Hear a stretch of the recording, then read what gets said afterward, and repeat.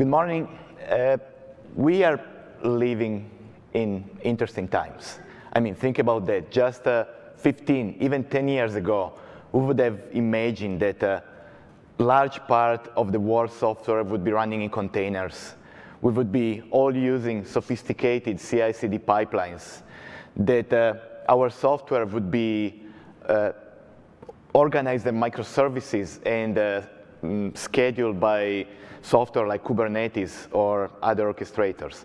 That deploying our software in the cloud would be the rule and not the exception. So uh, definitely interesting times, but we're at a security conference. And from the security point of view, if you think about that, the challenges that uh, we are required to deal with, to solve, are largely the same. Uh, fix, find and fix vulnerabilities in our software, manage configuration and permissions. This is particularly critical when our software is deployed in the cloud and essentially everybody has remote access to our infrastructures. Meet compliance, which is a moving target. Uh, every country, every, every continent has constantly changing rules from this point of view. And of course, detect and respond to threats. So when we look at the security landscape from the perspective of uh, cloud native, uh, we can see two trends. The first one is towards shift left, right? And this is driven by the increased usage of CI/CD security, by the fact that we are centralizing our artifact, our software, the dependencies in, in repositories where we can then validate and check for vulnerabilities better. The second trend is uh, a trend toward uh, the right, right, toward runtime security. And this one is driven by the increasing complexity, by the orchestration, by the fact that, uh, you know, microservice-based infrastructures that are running on Kubernetes are maybe easier to operate, but it's hard to actually figure out what's happening at runtime. And when we think about these two trends, the one toward the left and the one toward the right, typically in the context of cloud native security, uh, we tend to think about the one toward the left first, right? It's natural, it fits very well the model. Uh, it's also easier if you want. I shouldn't say easier in the context of security, but you know what I mean. Uh, I'm here to argue a little bit for the shift to the right and the fact that it's equally important.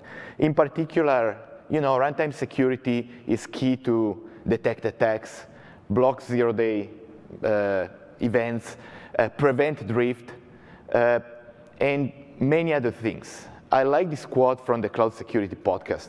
Detection and response is all about solving the security problems that the rest of the security organization has been unable to solve uh, you can have uh, fantastic supply chain security. You can have uh, great vulnerability management. But in the end, the bugs stops where your applications are running in your production environment. So without great visibility, without uh, uh, granular uh, ability to see what's happening, you have a gap. You have a big gap. Fortunately, the Cloud Native Computing Foundation is a tool that can help you with this.